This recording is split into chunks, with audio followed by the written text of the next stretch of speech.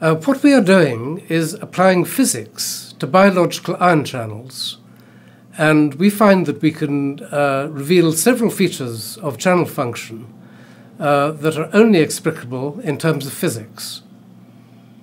These include, for example, uh, the selectivity of one ion over another. Uh, for example, calcium goes through a calcium channel a thousand times better than sodium, even though the two ions are essentially the same size. We're also able to explain uh, the rapid conduction, because despite the selectivity, the ions go through almost at the rate of free diffusion. In other words, almost as though the channel were an open hole. We can also explain uh, phenomena in mutation.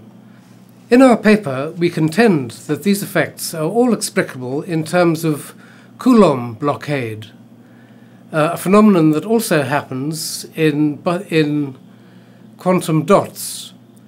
Uh, this was an insight due to Igor Kaufman.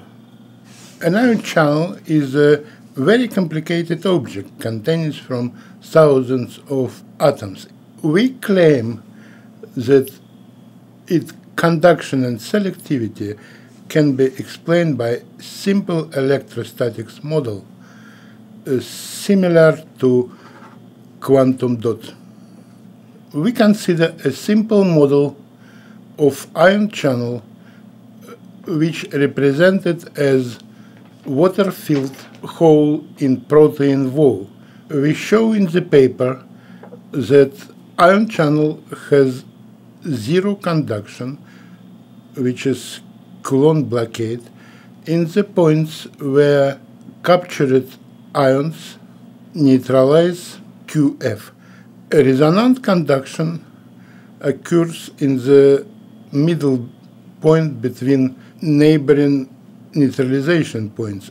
These equations are identical to those appearing in quantum dots. But we definitely need more crucial proofs for our theory, and that is what we wait for our friends biologists.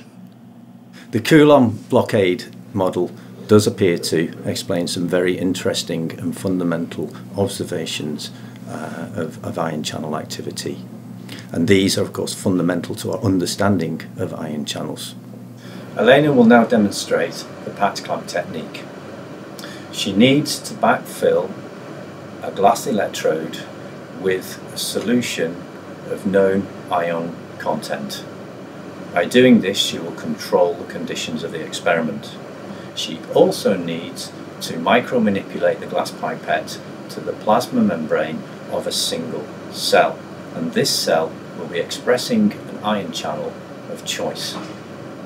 The pipette is connected to a very sensitive amplifier which is able to record ions moving through the ion channel pore and it records them as a electrical current. Given that the Coulomb blockade model can explain so many features of biological ion channels, features that were previously not understood, we physicists are confident that it's correct and that it will be validated by the experiments being done by Olena and Stephen. For details, please read our paper.